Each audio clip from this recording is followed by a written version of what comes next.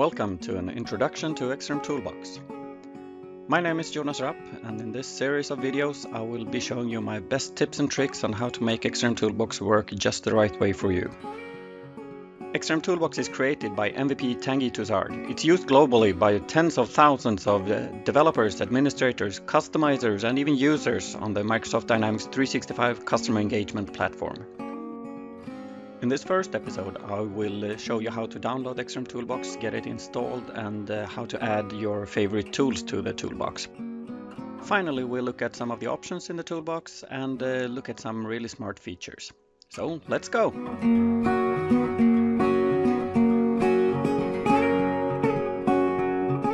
To get things started, browse to xrmtoolbox.com. Then you find that big green download button to get the toolbox downloaded.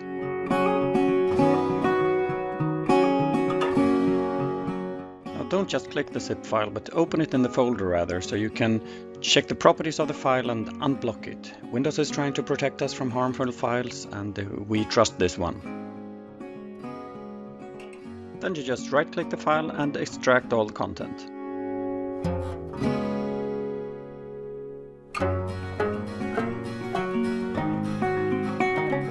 Personally, I don't like having stuff in my downloads folder, so I'll move the XrmToolBox folder to my dev folder.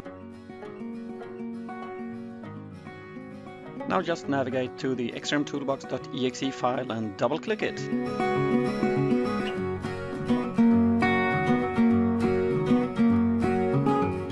By default, XrmToolBox will show you the plugin store when you start the application. To change this behavior, sort of unpin this button in the plugin store window. You can easily find tools by searching for parts of the name or author of the different tools. When you have checked the tools you want, just hit the install button.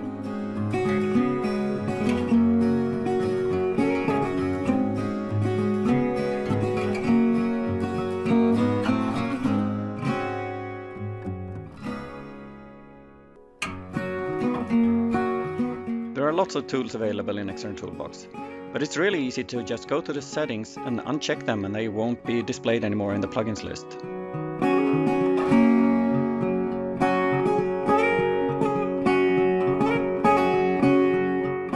Just like in the plugin store window, it's really easy to filter the plugins visible in the list.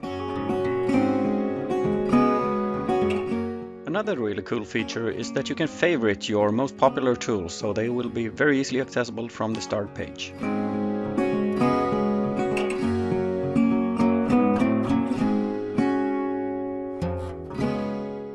Now let's just quickly add some more tools from the store.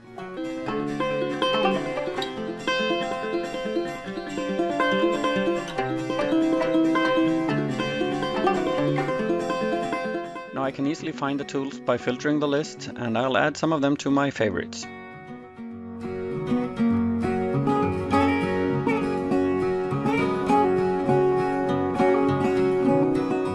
Since I use XrmToolBox many times every day, I want to make sure to have a shortcut on my Windows taskbar.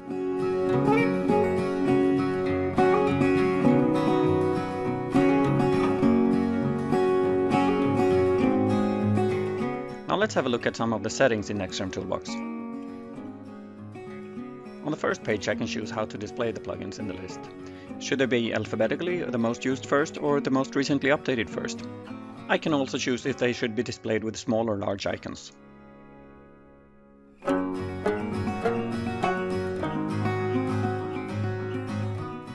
Miscellaneous tab, I always make sure not to prompt me when I close plugins. I know when I want to close them. You can also do settings for when to check for updates, etc. On the Paths tab, you get shortcuts to the installation folder and to the storage folder. The storage folder is used to store connection, settings, plugins and log files.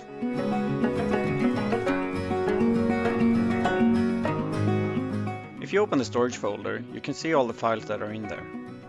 In this settings I have very few files because it's a new installation. I also have the plugins there, the actual DLLs containing the functionality.